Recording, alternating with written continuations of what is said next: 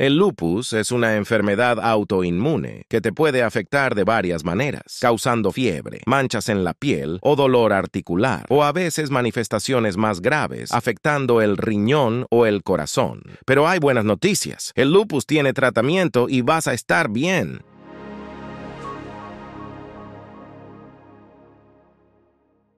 Hoy voy a ayudarte a entender si los síntomas que tienes están relacionados con el lupus, pues este te puede afectar desde las hebras del cabello hasta las uñas de los pies. Los síntomas presentes pueden ser muy variados, pero de una manera general, las principales implicaciones son artritis, fiebre, lesiones cutáneas, que principalmente empeoran con el sol, lesiones en los riñones y lesiones que afectan componentes sanguíneos, es decir, plaquetas, glóbulos rojos y glóbulos blancos. Una enfermedad autoinmune es aquella en la que el sistema de defensa comienza a atacar el propio cuerpo. Es como si el ejército atacase una ciudad de su propio país. Es decir, nuestras células de defensa comienzan a atacarnos a nosotros mismos. Por esta razón, es que sientes fiebre, cansancio, pérdida de apetito, dolor en las articulaciones. Comienzas a sentirte muy cansado y muy enfermo. Y esto es el lupus. Y tu sistema inmune está necesitando ayuda. El lupus afecta a nueve mujeres por cada hombre. Por tanto, la enfermedad es más prevalente en el sexo femenino. Esta puede afectar a cualquier grupo etario, pero aparece más frecuentemente entre los 15 y los 45 años. Una de las primeras pacientes que vi con lupus era una mujer de alrededor de 40 años de edad, que acabó siendo hospitalizada porque tenía mucho dolor abdominal. Durante la investigación, cuando estaba hospitalizada, ella fue diagnosticada con una manifestación muy rara. Ella desarrolló una vasculitis, una inflamación de los vasos del abdomen.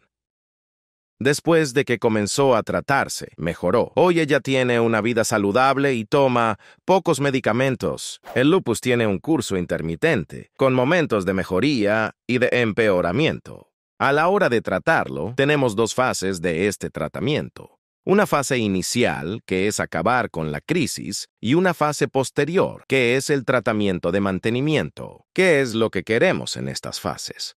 Que tengas la enfermedad controlada, que no vuelvas a tener los síntomas iniciales y que no vuelvas a tener fiebre, dolor articular o las manchas en la piel.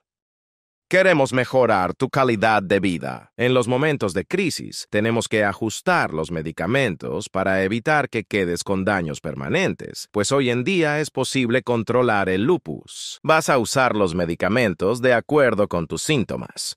Por tanto, no existe un medicamento único que vaya a resolver todos los problemas. Van a variar según el órgano que está siendo afectado. Si sospechas que tienes lupus, debes ser evaluado por un reumatólogo, ya que él es quien integrará los síntomas que estás experimentando. El dolor articular, la fiebre, la falta de aire. Junto con eso, él va a solicitar algunos exámenes que, sumando todo, nos permitirán llegar a tu diagnóstico. Existen síntomas típicos. Sin embargo, tal vez el examen de detección, es decir, de investigación inicial, el examen que nos dé más pistas sea el ANA. Es un examen donde se buscan autoanticuerpos, es decir, anticuerpos contra nuestro organismo. No siempre que el ANA esté presente significa que tienes lupus. No obstante, es poco probable que tengas lupus si el ANA es negativo. Pero me gustaría reforzar que alguien tenga el ANA presente no necesariamente significa que tiene lupus. Pero quien tiene lupus muy probablemente tiene este examen positivo. ¿Por qué tienes lupus? No lo sé realmente. Sí, existe una tendencia genética pero este gen será activado debido a algunos desencadenantes.